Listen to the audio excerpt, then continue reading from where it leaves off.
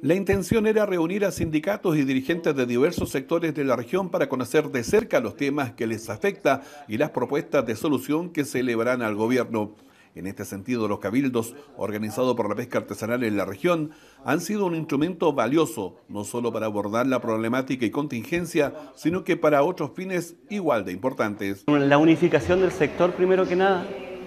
y como ustedes se dieron cuenta, acá está toda la región representada en estos cabildos que hemos tenido durante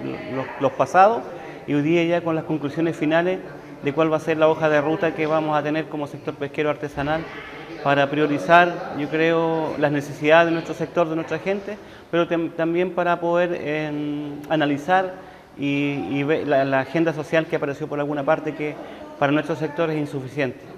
Todas las provincias de la región estuvieron presentes en los cabildos, cuyos representantes también hicieron una autocrítica de las fallas o errores que se han cometido para no repetirlos en el futuro. Ser súper autocrítico, esto quiero dejar súper claro en esto, ser súper autocrítico de las cosas malas que hemos hecho,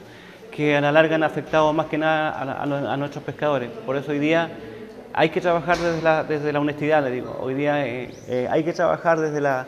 de, poner toda nuestra, nuestra fuerza para poder aprender ciertas cosas que no entendíamos, como el tema de la nueva constitución también, que es un tema que vamos a ver hoy día y que se va a trabajar fuertemente en ello para entender y qué significa una nueva constitución, porque mucho, todo, todo el día hablamos de la nueva constitución, pero no muchos sabemos de qué se trata, ¿me entiendes? Y, qué es lo que desglosa una nueva constitución, si hay que, hacer una, una, constitución nueva con una carta en blanco, cómo se habla, cómo se empieza, cómo se hace, cómo se, cómo se trabaja en esto porque es la manera de, que nosotros nos informemos, es cómo se van a seguir, van a, van a darse nuestras cosas para nuestro, para nuestro sector.